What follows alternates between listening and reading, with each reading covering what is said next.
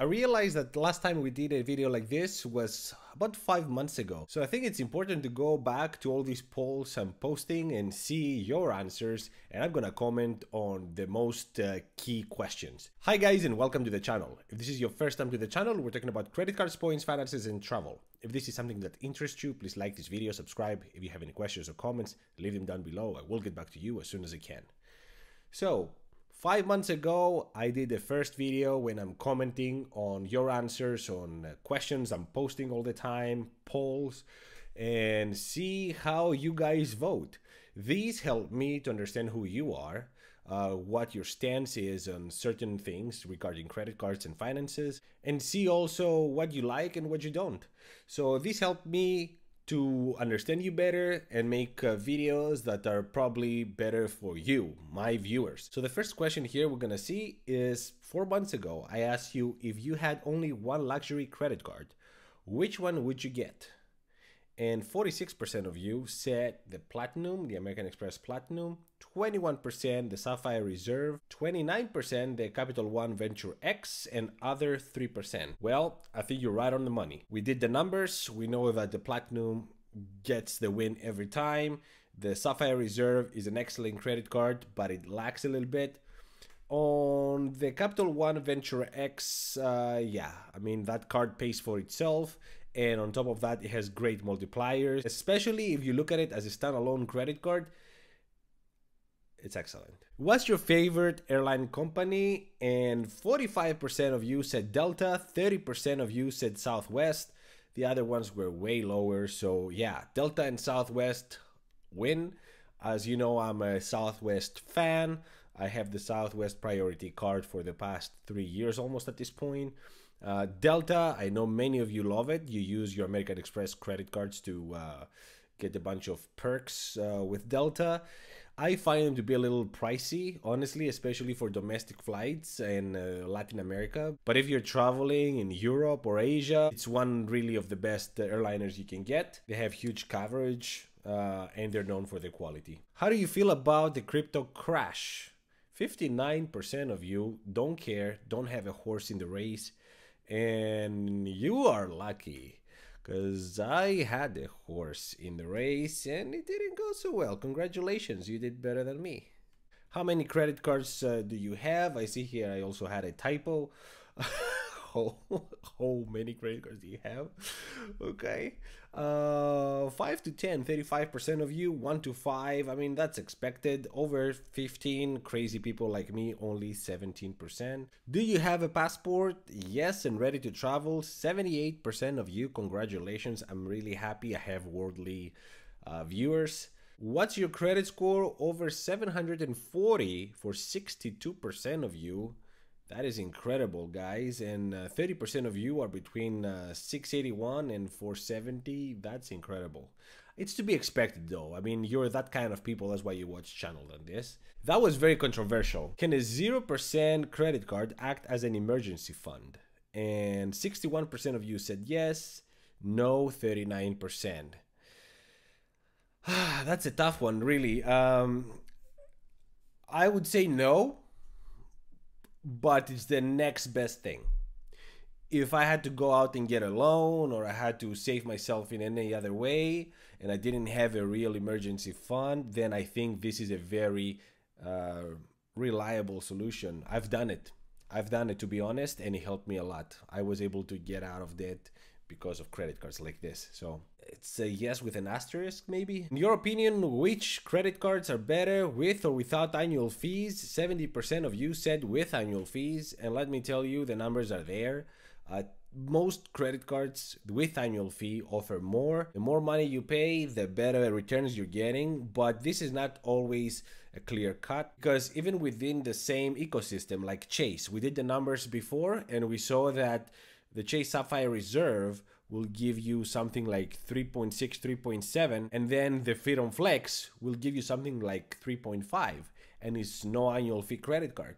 So, uh, uh, uh, but if you want to generalize uh, things, I would say yes, with annual fees is always better. Declaring bankruptcy. Oh, this is controversial. Sometimes necessary, 79% of you. A fraud, 21%. Where am I standing on this one? Um, sometimes necessary. If really you cannot pay and uh, you did everything you could and yet you can't, then yes, declare bankruptcy. But if you do it because that's your financial plan and you're trying to scam people, that's a whole different story. What level of education have you completed? And most of you have a bachelor degree at 44%. The second highest is up to high school, masters 21%, PhD 7%. I even have doctors here. That that's that's really flattering. Uh, but yeah, most of you have a bachelor degree. And the second biggest category is up to high school. I mean, guys, to be honest, I am just finishing my MBA now, so I'm getting a master's degree by Christmas. And is it overrated? Maybe. Maybe. I mean, I know I'm making more than I would otherwise, but I spend a lot of time also in school and a lot of money, so yeah. It's it's a uh, it's tough. Now, the points redemption is another one, and most of you get 1 to 2 cents per point, 45%. Many of you, 33%, 3 to 4 cents per point. And then over 6, 13% of you, I don't buy that. Who gets over 6% at 13%? There's no way. Stop lying. Do you think that credit card issuers are doing enough to keep up with inflation? No, 78%. I say 100% no. And what's more annoying to me is that lately you see smaller and smaller sign up bonuses. When banks were getting money for free from the government, they would increase their sign up bonuses uh, 20,000 points, 30,000 points.